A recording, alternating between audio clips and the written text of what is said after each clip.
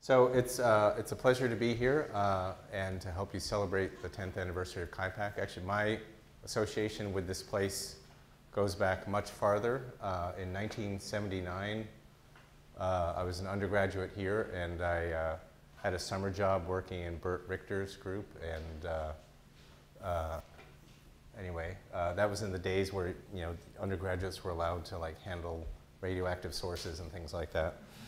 Uh, and then as a, as, as, a senior, actually, I carry out an experiment at the SPEAR, one of the SPEAR interaction regions, and probably most of you don't even remember what SPEAR was, but some of you do. Um, and uh, we did an experiment, and I think that those two experiences convinced me that being an experimental physicist was just way too hard. You had to stay up late, do shifts and stuff, so I, I went into theory.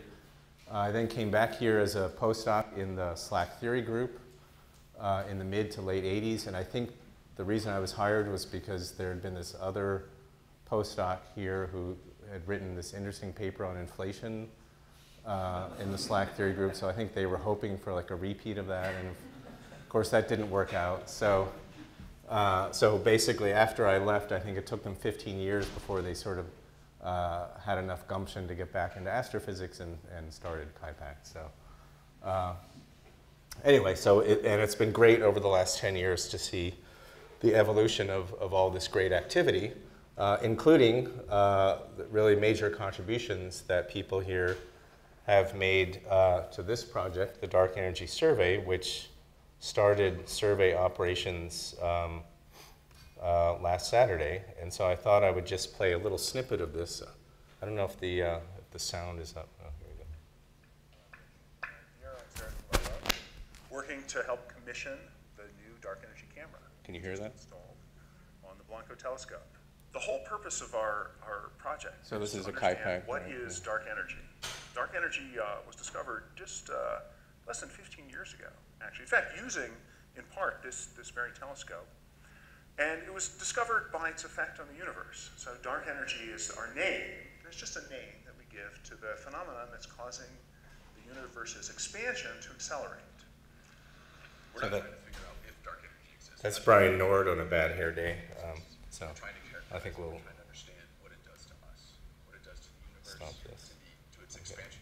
anyway, so um, so I'm really appreciative of, of really all the work that's gone on here um, in the Dark Energy Survey. Um, and so I was going to spend the first few minutes. Which one is it? Oh, get the can you get the PowerPoint? Yeah, there you go. Great.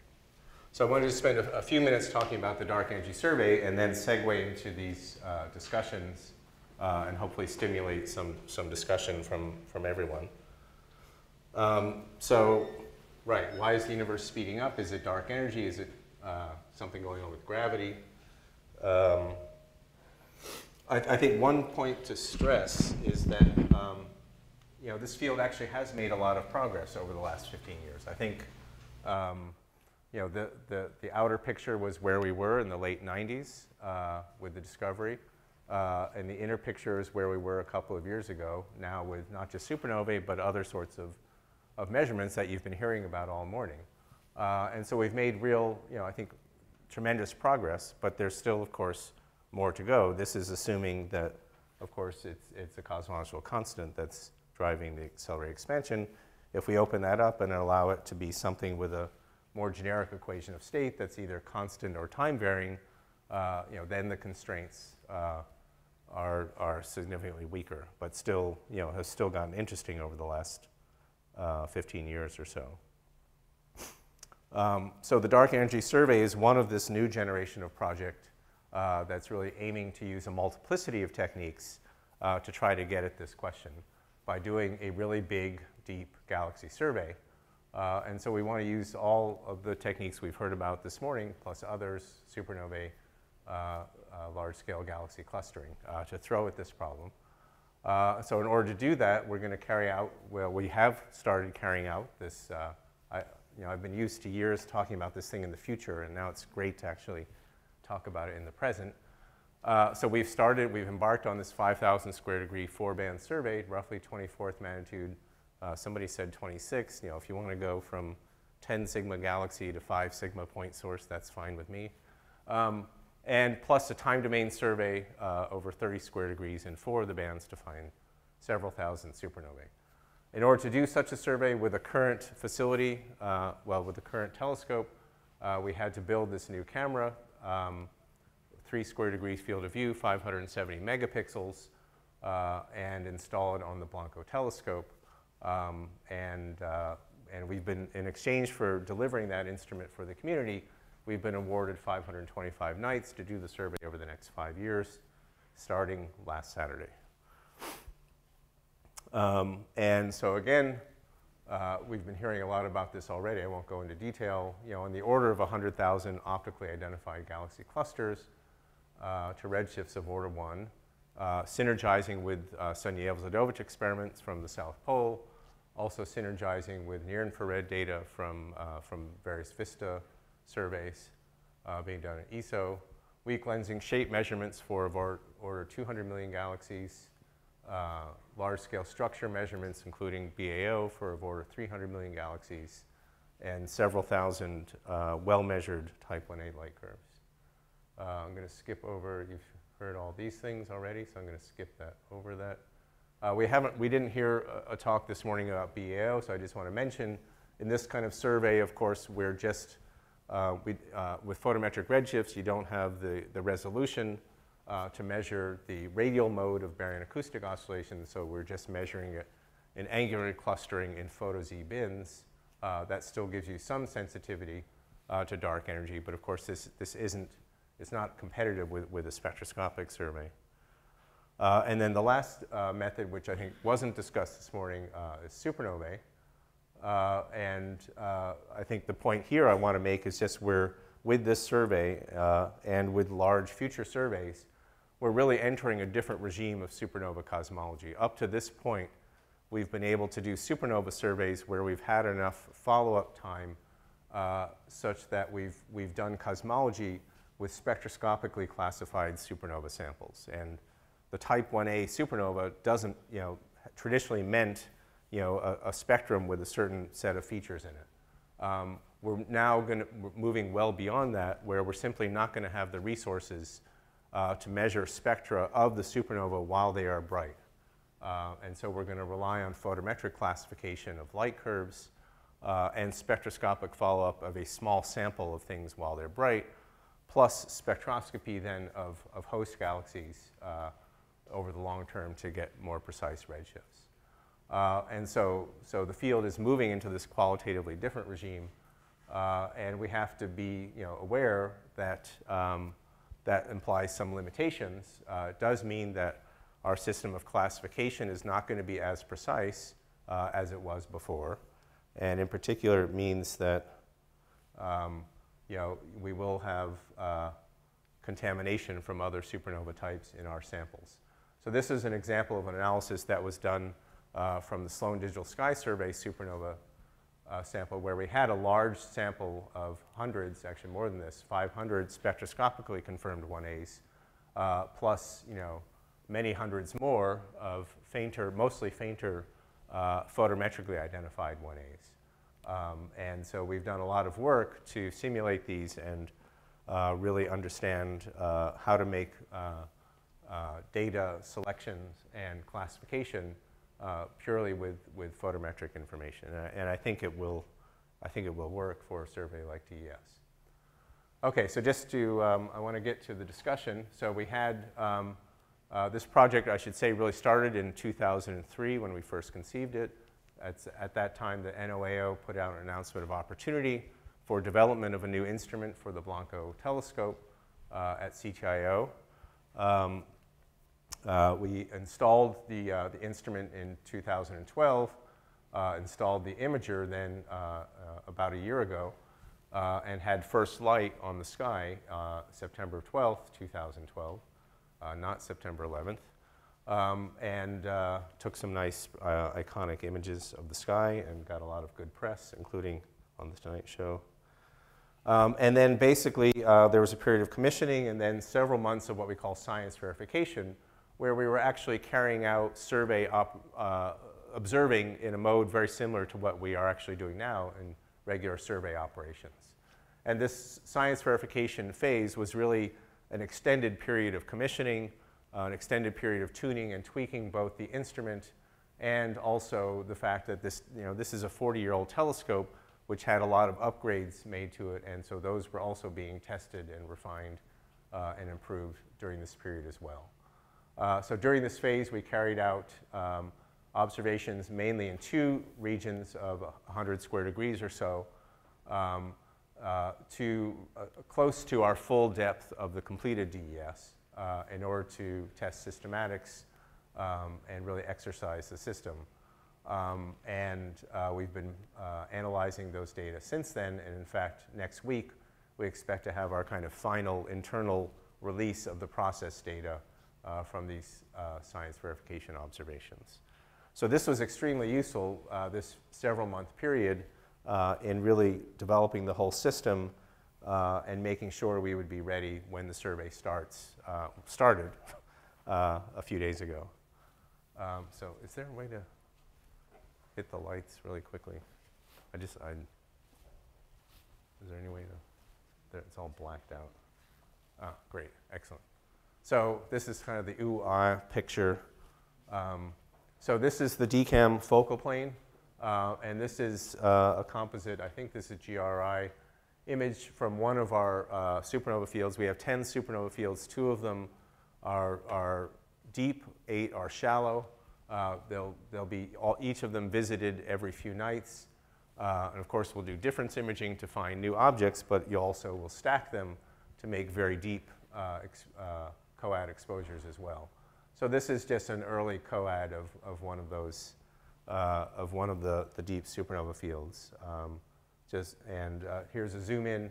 Uh, during science verification, we were in survey mode, but we also zoom, uh, took images of a few known clusters. This was a, an SPT cluster at a redshift of about 0.3. So there are about 50,000 galaxies. This is about a square degree on a sky. So this is a portion of the DECam focal plane and just zooming in you can see the, you know, the red sequence of this, this cluster here. Um, and so people have been starting to mine these data, and when we have our, our release next week, uh, that, that activity will really uh, get underway. But so here's work uh, led by people here at KIPAC uh, using uh, red sequence to identify uh, high redshift clusters. So this is a, a redshift 0.8 or 0.9 cluster that, that Eli and company found this is from data we took back in, uh, in the science verification phase in November. Uh, we've heard a lot about weak lensing and cluster weak lensing. Uh, and we've also heard that you know, doing cluster weak lensing is easier than cosmic shear. So of course, it's one of the first things you try. So this is another cluster, I forget which, which one, uh, where we have DECam imaging, and then the contours superimposed on that is uh, a surface mass density uh, reconstructed from weak lensing uh, and uh, uh, looks, you know, looks quite reasonable. So, um, so this is sort of a first indication of, of using this system to measure galaxy shapes in a cosmologically interesting way. Uh, and this is quite nice because during this phase, uh, the science verification phase, we knew there were actually a number of issues going on with the system. The telescope was not tracking perfectly. Uh, there were guiding issues, et cetera.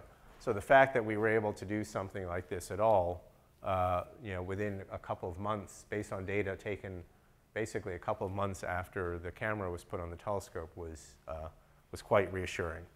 Uh, and since then, the data quality uh, has, has gotten substantially better. Uh, we also exercised the, uh, the, the, time domain survey. and so here's a zoom in on a region where we found supernova. We have hundreds of supernova candidates. We had very limited spectroscopic time scheduled last fall, uh, so we confirmed a handful of, of, type 1a and other types of supernovae. Uh, but there are, over the next five years, our collaborators in Australia have 100 nights of, of time on AAO that have been awarded for spectroscopic follow-up in the supernova fields, uh, going after both active supernovae, supernova host galaxies, other sorts of targets. So that, that should be a very rich data set in itself. Okay, the, the survey started uh, Saturday, uh, and we've had uh, a little bit of press, including uh, locally here in the San Francisco Chronicle. Uh, so, and uh, um, so that's, that's going well. So basically, um, the survey is now roughly 1% done. so we just have 99% to go. So, so, you know, so all the hard stuff has been done, and it's, uh, it should be smooth sailing from here. So I think that, that's all I wanted to say. Maybe we can bring the lights back up. Uh, that's all I wanted to say about DES, and, I, and I wanted to now, I think, immediately segue. I don't think we need to do questions um, on this uh, into these discussion questions, and I'm hoping. So I think in, in other sessions you've brought people forward for these things. I'm I'm not a huge fan of, of sort of having pundits sit in the front, so I'm hoping that instead we can just stimulate general discussion in the audience. Uh, and if people don't pop up, then I'll, I'm going to like, you know, point the laser pointer in your eyes or something. Um, so uh, we had this set of questions, I think Mustafa mentioned at the beginning, um, that I'm hoping people will respond to. Uh, and so the first ones are sort of aimed at the, the theorists, and uh, unfortunately I don't see Lenny here. Um, but there's certainly, uh, well, so I, I, can pick on Iggy because he, he talked about this as well. Uh, so there clearly is, at least in some segment of, of the community, this what I would call theoretical prejudice that lambda is, is, the origin of cosmic acceleration. It's clearly the simplest explanation. Uh, it's, it's consistent with all of the current data. Um, on the other hand, I think many of us believe that there was an earlier epoch of accelerated expansion some fraction of a second after the Big Bang. That's consistent with all of the data as well. Um, and so um, if I imagine a bunch of theorists sitting around 10 to the minus 35 seconds after the Big Bang, the universe is just starting to inflate, and they're all sitting in a room like this, and they're all saying, oh yeah, of course it's the cosmological constant, and I even have an anthropic explanation for why it's you know, four orders of magnitude below the Planck scale or something. And you know, of course, uh, it's obviously going to be the cosmological constant. And, you know, and so for at least 50 or 60 e-folds um, uh, or more, they would have been, you know, they would have been, that would have been a good bet. Uh, but eventually that epoch of accelerated expansion ended, uh, which is not what would happen if it's lambda. Um, so I personally feel that having, uh, having been wrong once is not a good argument for being right the second time. Um, that's, that's just my prejudice. Um, so I don't know if, if people want to, if, if people have thoughts on that, maybe if there are responses to that. I then, I then had a second thing on sort of dark energy model building, but maybe if, if, if there are any responses uh, on that one. Because it's certainly a general assumption that, uh, you know, that lambda is, the, is sort of the, the null hypothesis here. And the, my question is, why should we be making that assumption? The perspective is slightly different in the sense uh, the argument that is used to argue for the anthropic argument for a cosmological constant at late time just wouldn't tell you anything at early times, and just right. because there were no observables, no, no observers, uh, a fraction of a second after the Big Bang, the way we understand observers. So in that sense, I'm not sure what you mean by being wrong or not. It's not that that way of reasoning was proved wrong in other situations is the well, conclusion no, the, the that you. Is we, have had, we think we've had one epoch of accelerated expansion, which was not driven by lambda. So why does that make us assume that this epoch of accelerated expansion must be driven by lambda? Yeah, I think that the logic is that you have a certain reasoning, anthropic reasoning. I'm, I'm not necessarily defending that, but this is the logic. And that reasoning allows you to make a conclusion at late times based on anthropic that the cosmological constant has to be close to the value observed, and it allows you to make no conclusion whatsoever about the value of the cosmological constant at early times because there were no observers. So in this sense, uh, yeah, you just use it when it does give you an answer, and you don't use it when it doesn't. Uh, so, so it's, it's light, I think there is a slight yeah, nuance I wasn't, on. I wasn't actually trying to get at the anthropic, the anthropic thing here. I'll, I'll, I'll, I'll, I'll dig at the anthropic principle in a couple of other, a couple of slides.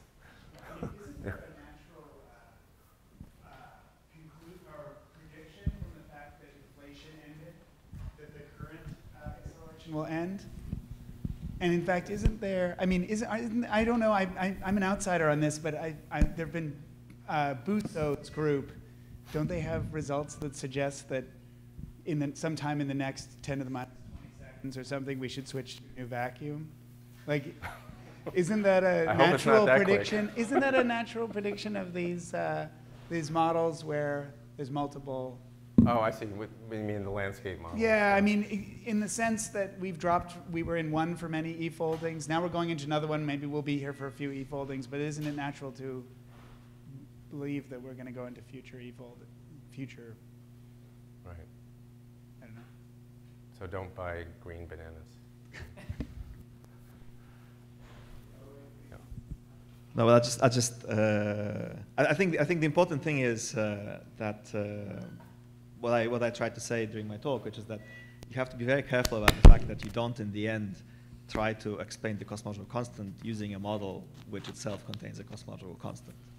I think this is the, I, I think this is, so this is the, to a large extent, I think the problem with, with the, so I guess that's point two here, model building, in that we are, in the end, basically just frequently taking the problem that we have and putting something else on top of it and calling it something else. Right. I think this is the, I'm not sure whether there really is a very compelling model that would do anything else.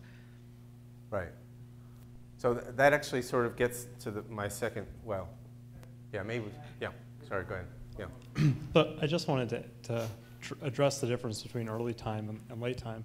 So e- in, in early time, we could imagine trying to cut off these loops. So as Lenny was emphasizing, there's loops that were normalized, the cosmological constant, and you could really, you can legitimately, there are symmetries that will cut those loops off. Like supersymmetry naturally controls the value of the cosmological constant. And so if you applied that, so you said, oh, during inflation, maybe there was supersymmetry. And since the scale could be as high as the GUT scale, it seems completely, completely reasonable.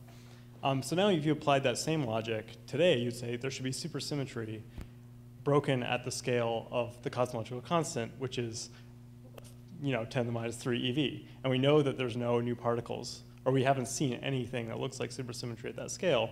And there's no evidence that something is coming in to cut off those loops. So because we've probed higher energy scales, we've seen new particles with masses above this, the scale of the cosmological constant, we can't just modify physics to, to fix the problem, where we could imagine doing it with, with inflation.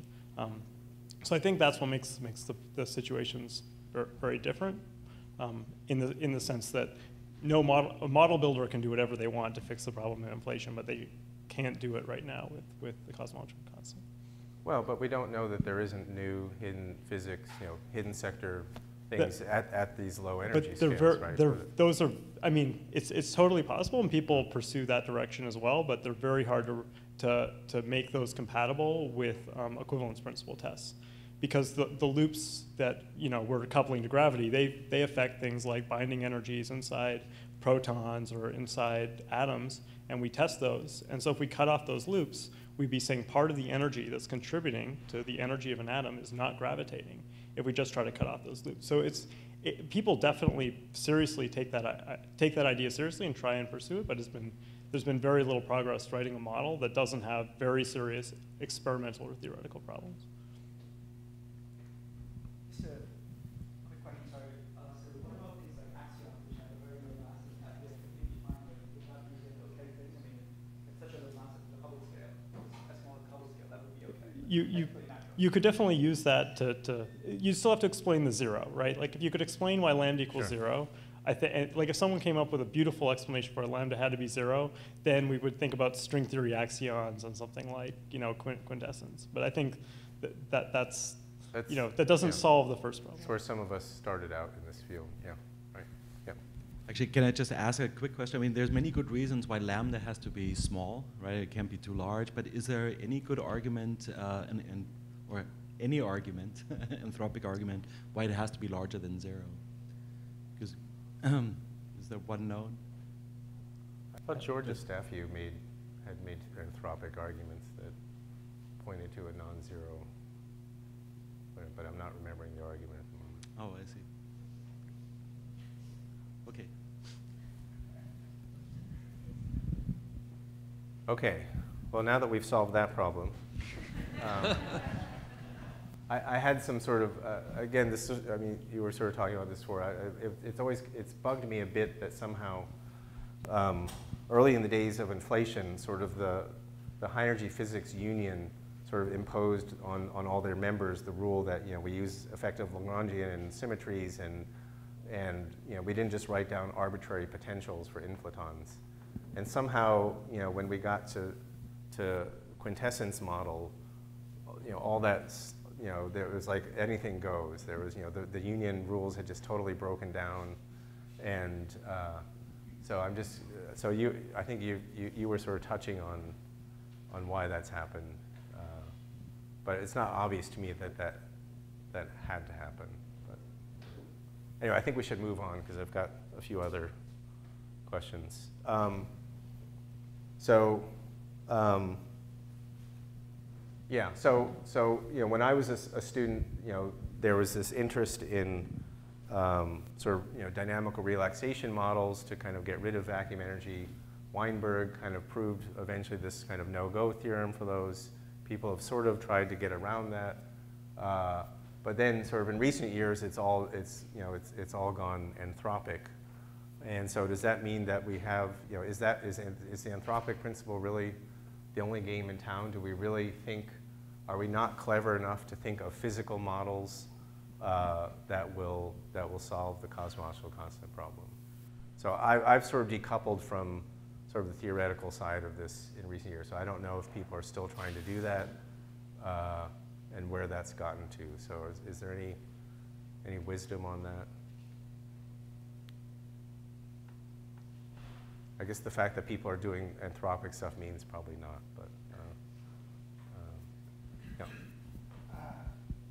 I just have a question about it, which is that um, how much work has gone into actually computing the vacuum energy density in the in the model? I mean, oh, the, the descriptions I always see is like people draw a few diagrams and say, well, there's an infinite number of them, so if you add them up, it's got to be an infinitely large number. Uh, but in principle, you can actually just compute the diagrams, right? I mean, you could probably go to quite high order. And how far have people gotten? And I mean, maybe when you compute them, they just all add up to something Oh, small. you're saying cancel it? You know. No, I mean, I don't think it will, but I was just wondering what's the status of it, the problem. Problem is always stated in this naturalness way and not Right. with the numbers. Yeah. You know what I'm saying? Any comments So actually, I- unfortunately, I've forgotten the. Quite embarrassing, but I have seen a, a somebody trying to the the lambda in standard model, and um, there are all kinds of issues to do with the fact that uh, if you put your cutoff at n Planck, it's not Lorentz invariant, that sort of thing. But nonetheless, if you go through this, you end up getting a number that's uh, it's not 120, but it's 64, I think. So, and any which way, you know, there's now the Higgs, which is 246 GeV or something like that, right? So. Okay, so no one here has a, a solution to the cosmological constant problem? Uh, can we put that on the agenda for KIPAC at 20? And- okay, I, I want you to solve that in the next thing. So I, you know, I'm, there's, there's all this stuff about the anthropic principle. The, the only thing I want to say about it is um, uh, that you know, we, we have uh, earlier examples in the history of physics. So there was this famous paper in 1973 by Collins and Hawking uh, where they formulated a solution to the flatness problem eight years or whatever before Alan Guth, and it was you know, the anthropic principle. Um, and um, that's fine, and you can say that's a perfectly fine solution. However, you know, imagine if we had just stopped there, right? And then, you know, Alan Guth as a postdoc here at SLAC, you know, just wouldn't have bothered to have, you know, written down inflation, and, and we wouldn't have this whole, you know, most of us wouldn't be here probably. Um, and uh, so I think, you know, to my mind, the, the anthropic solution isn't, you know, it's not bad. It's just that it, it has this tendency to sort of close off the search for physical solutions. Um, um, it doesn't mean that it's not right, but I think it just, you know, we should, I, I think we should be conservative in giving up on physical solutions um, just because we haven't yet been clever enough to come up with one. Um, so. yeah. Okay, so let's move on. uh, since we've done so well answering those ones. Um, let's see, what was the next one? Oh, yes. So, you know, there's been a lot of industry, so Iggy and others, uh, you know, many people have worked on these modified gravity models. Um, and uh, certainly, you know, when I give talks about DES, I say, you know, we're going to try to figure out is it dark energy, is it modified gravity? Uh, but again, we have, I think there's this sense that it's really tough to come up with, um, with viable, consistent modified gravity models. Um, and so I guess, you know, the question is, um, is that telling us something or is it again just that we've, you know, we, people haven't tried hard enough? So maybe that's a question for, for Iggy.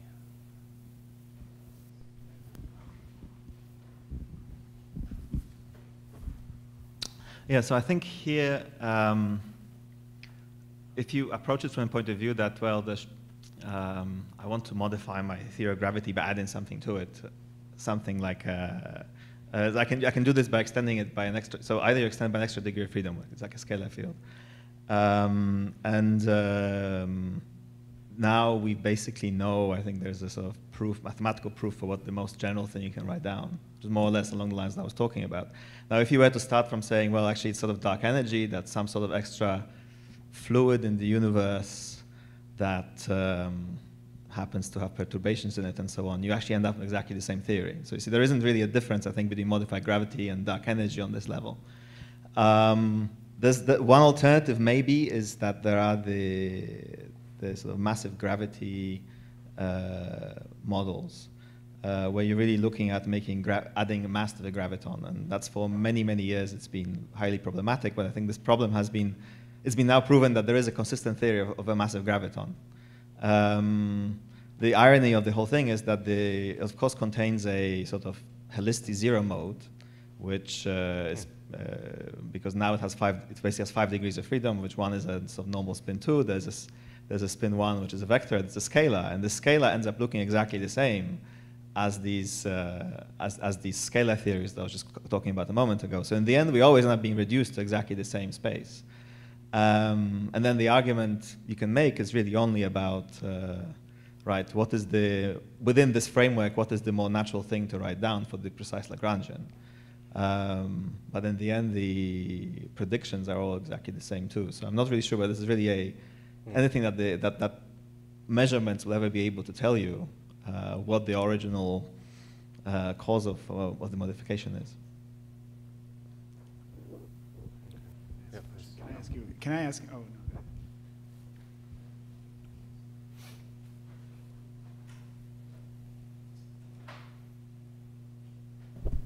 Uh, so while uh, these modifications to gravity or a new fluid uh, might be degenerate in the cosmological case, for example, when you have a scalar mode for your gravitational theory that gives you new radiation modes, which in principle the LIGO people could detect. So uh, if, you, if you go over to that domain, you can distinguish between the theories. Um, right. So in principle, if you go away from the from the cosmology here that we're doing, yes, maybe there is a. It's. I mean, it's also. I mean, there may be differences on the level of. Um, if you're really thinking about this theory and sort of nonlinear as forming static structures and so on, things that are hydrostatic, uh, that come from hydrostatics, or things that come from hydrodynamics, uh, uh, rather than from modification of gravity, will, even though they're coming from a theory that's very similar, will take on different solutions. Um, so in principle, maybe there's a, there's a way of distinguishing there, but it's not on the level of looking at uh, linear structure or structure formation in general, I think. Yeah. just I'm just going to ask you, you whether you thought, I mean, a lot of people are showing WW prime plots or W, prime, w versus things, uh, the observers, and those plots didn't appear in your talks, and maybe you have something to say about what you'd like to see people observing. Right, okay, so this is a uh, question of, um, so uh, I didn't really get into this, but the W is not an observable quantity, right? So the reason why we think W is close to minus one is because we have assumed that it's a constant um, really what's an observable quantity and a physical quantity is just h. And actually what you find when you're looking at the, when you're looking at the equations of all these models, they never really depend on w directly. They always depend on h or the derivatives of h and so on. So I'm not really sure whether, you see, a, a measurement, assuming that w is some constant and then you, you know, you put in it, you parameterize it, and you measure it, is not probably that going to be that that important for the understanding how the perturbations themselves evolve in a particular set of theories. Like in the end, the quantity that you that you really care about is, it's just really the geometry of the of the space time, and that's about it. And in the end, that's the only thing that's actually really observable. Yeah, actually, I thought um, I thought your question today was was regarding that because you know you were talking about these gamma models, which is a single parameter model where you're just looking at growth. But you know, there's this literature on, on sort of model, sort of two parameter models where you're looking at the difference between the two, the two potentials in the perturbed metric, and you know, one of them affects growth. You know, you can sort of package one of them into a sort of g-effective thing that affects the growth of perturbations and so on. So I thought. Well, actually, those, so, so but, but that's, that's at two levels, I think. So there's one is that uh, um, if you don't know what dark energy does, i.e., you know, you have to assume that it may cluster, and if you do that, then dark matter perturbations themselves are never observable because you know, we're only looking at, all our probes purely look at geodesic motion of either light or galaxies. So there's never any sense you can really differentiate between dark matter and dark energy if you don't know, have an idea what dark energy is doing in the first place. Um, and then sort of there's a, so this is why I was kind of trying to, to, to, push this idea that there's some way of measuring this eta at least in a way that's model independent. And that will tell you something um, uh, about, about the class of theories you may be in. And so the second issue, which is that when you're looking at cluster counts, or something like that, you have to understand the, you have to understand how the, um, in different classes of theories of, of, modified gravity, the way that you convert the linear power spectrum to clusters is very different. And um, just, it's not just a question of how the background has changed or something like that, or, or really what, what sigma 8 was at the time that you that, that, that, that the cluster formed, but it's a much more complicated nonlinear process. Um, hey, yes, yeah, just to mention on, on, on, that and follow the discussion that having before and you're having uh, now, essentially the problem here, I think, is uh, uh, as which is related as well with one of the questions that you have later on, I think, is the ignorance that we're discussing here, right? The ignorance of what it is dark energy or modification of gravity or, or something else. So the problem, if we don't know what it is, we don't know how to describe it. So the, the, the, what I was trying to say before as well, if you, we, we try to pick a particular model, we have a particular description, which is only valid for that particular model, which is uh, essentially what we have with the particular model that I chose, which is a, our preferred model so far, which is GR.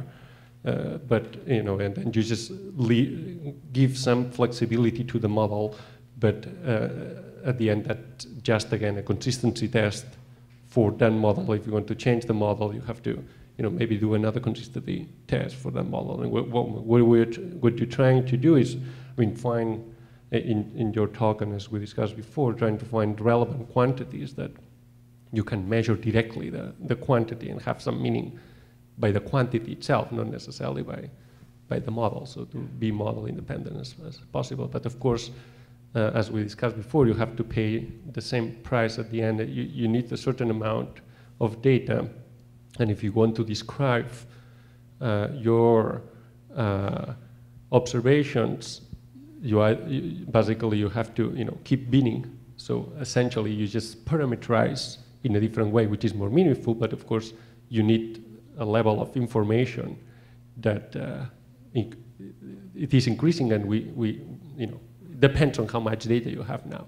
So for the le level of data we have now, we do sensible tests and when we have more data, we'll keep moving forward. Ideally though, we'll, have, we'll like to be guided by the theory, but that's, that's evidently a problem for all these questions that we're discussing now here. I'm not sure if this is either going to be helpful or, or different from what people have been saying, but it sort of seemed to me for quite a long time now that this sort of democratization of theories is a sort of residue of the um, amour propre of the theoretical physicists who were very disturbed by, uh, for all the reasons we heard about lambda and all the rest of it. And uh, speaking as a theoretical physicist, I would say get over it. Um, we have one singular theory just as we had with general relativity. It is nearly a century old, including the cosmolog- cosmological constant. It is very prescriptive. It says A goes as sine to the two thirds T and gamma is six elevenths.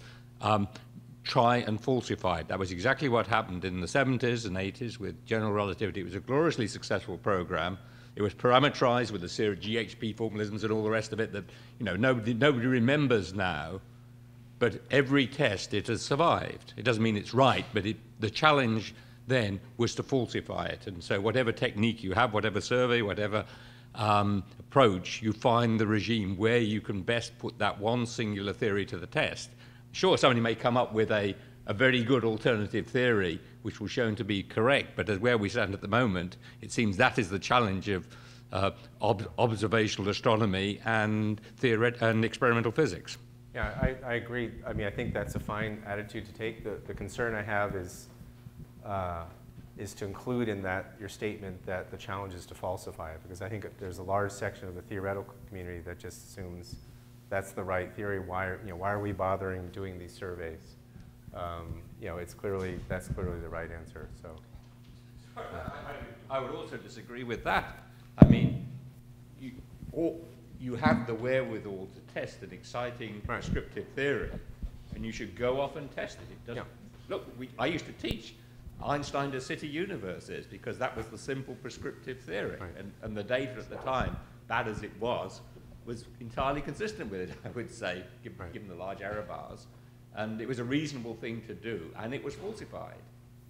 And you know, Yeah. and I think that, that in some sense is a description of what happened in cosmological observations is many people thought, thought that that was the simple natural theory and it was falsified Yeah. observationally. Uh, I, I have a general discussion question, which is then there, there have been some proposals recently. Uh, the one that comes to mind is using the so-called trace-free Einstein equations, which basically allow you to ignore the vacuum energy contribution to a cosmological constant, in which case you have no theoretical prejudice for what it should be, and it's just an integration constant. Uh, and I'm curious as to what people think of that kind of approach to the problem, that it's just, it's a fundamental constant of nature.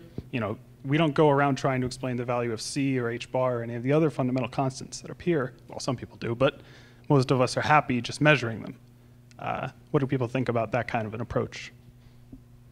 It's a little defeatist, but uh, you know, it might be where you end up.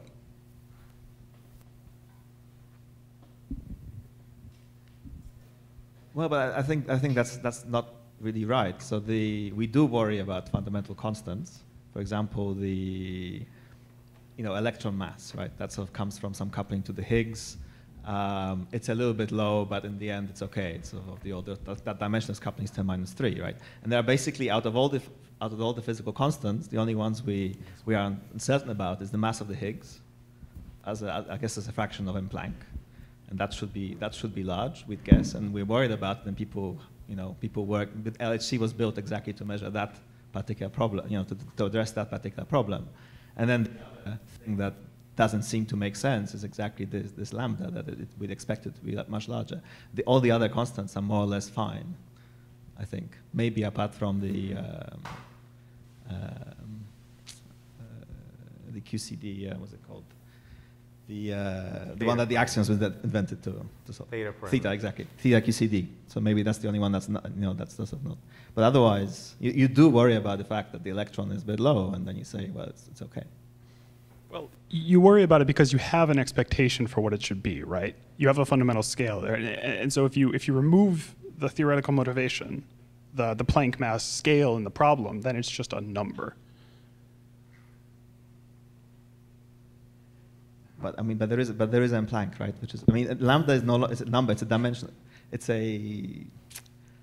Um, I mean, if you just look at from from the classical Einstein perspective, Mhm. right? It's just an integration constant. It, you have no expectation for what it should be. right. Uh, there is, but I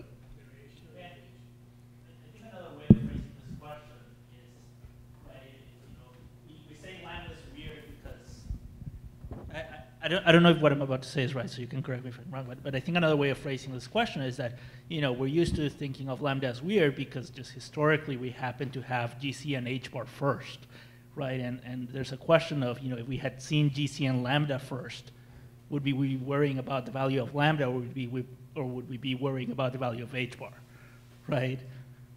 I, I, I don't know if that's actually equivalent to what you're saying, but it sounded to me similar, so that, that's why. H bar is a dimensional thing, and we never worry about anything that is dimensional. We only Right. worry about things that are dimensionless, so you have to take ratios. If you get something whose ratio to h, with the same dimension as h bar, whose ratio is weird, yeah, you want to explain. Like why things move uh, slower than light, etc. Right, exactly. So, so it's a, it's a, it's a, it's a problem of a ratio, right? And we think of it as a lambda problem because lambda was the last one to the party. Well, people say lambda, they actually should say lambda over M Planck. It's kind of a short and notation. to change everything. That, that's what is meant you say lambda is a problem. It's lambda over n. I think Bob has a. Uh, Okay, uh, to zero order, I agree with what Roger said, about testing GR and the standard model. Uh, Next order, the question is, can think, thinking more broadly theoretically suggest new classes of observations and experiments, okay? Yeah. So that, that's where I stand. Can I just try to throw a, something I think things historical.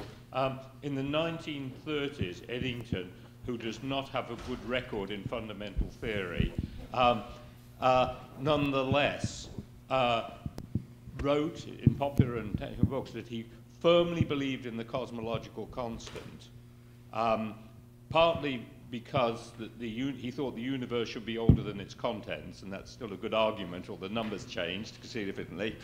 Um, and, and this is perhaps relevant to the you know, point that you brought up, um, that he knew about small things like atoms and nuclei, and he knew about large things, which is the universe. And there had to be, his argument, which is an inversion of the way that people think about it nowadays, not necessarily a good one, is that there had to be something very large. There had to be a very large number to characterize the, the size of the universe in the presence of atoms and nuclei. And so it isn't as though lambda is late to the party. I mean, it was there in 1917. Um, and it's just, that- it's just perhaps the, the, the intellectual path that we have followed through the glorious successes of atomic, nuclear, and particle and physics and beyond against this background of, you know, a, a, a cosmology. It's the, it's the observational cosmology that I think is late to the party.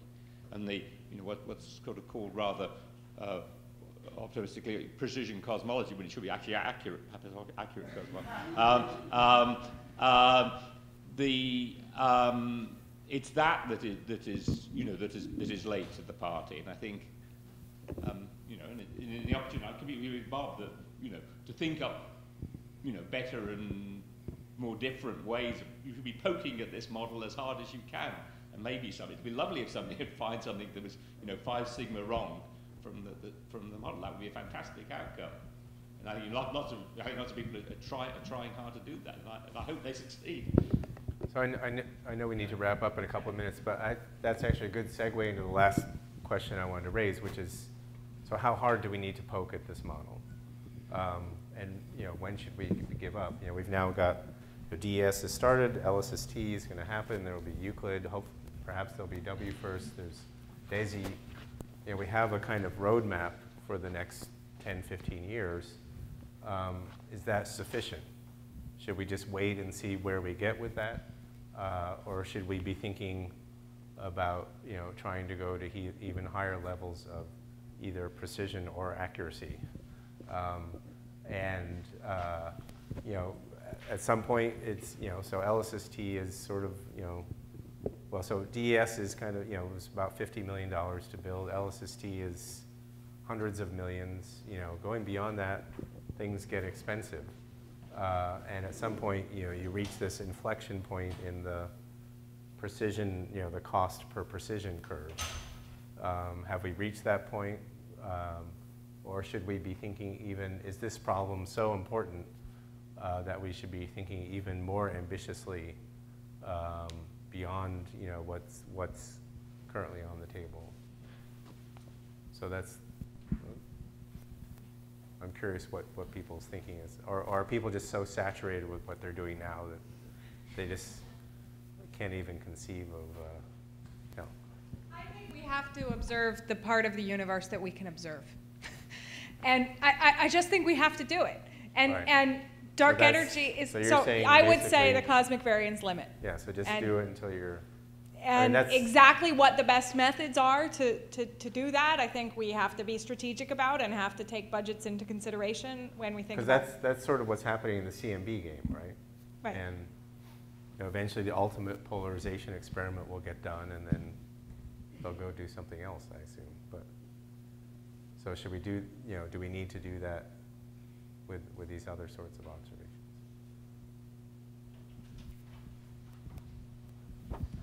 Um, well, one thing I would say is, so I agree with Risa that our responsibility as astronomers is to measure everything we can measure, and we should keep doing that.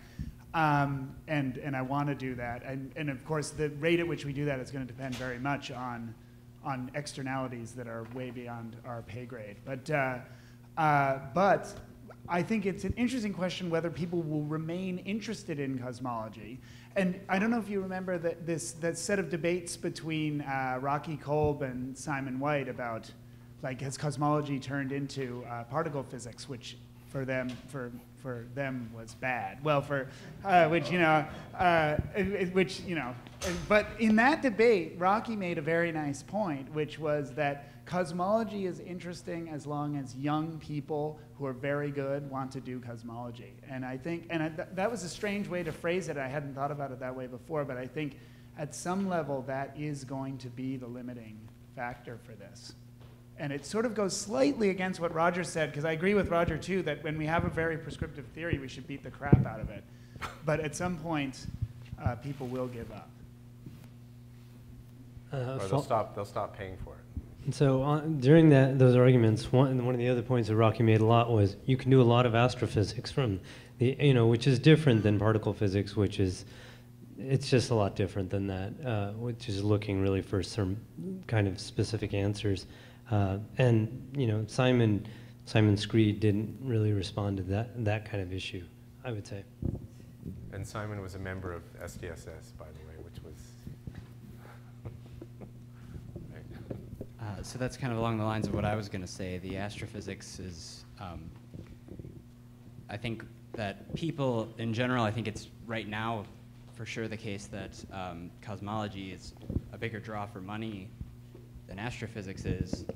And um, we should kind of use the funding that we can get in cosmology, I guess, to push to higher precision because also like in pushing to higher precision we're doing much better astrophysics uh, than we would do otherwise and i think that you know nobody would give us this you know hundreds of millions of dollars to study galaxy morphology somebody said this to me at lunch yesterday um, but So- they so will this is to, all just a very w This is all just a very clever ploy by the astronomers. uh, um, no.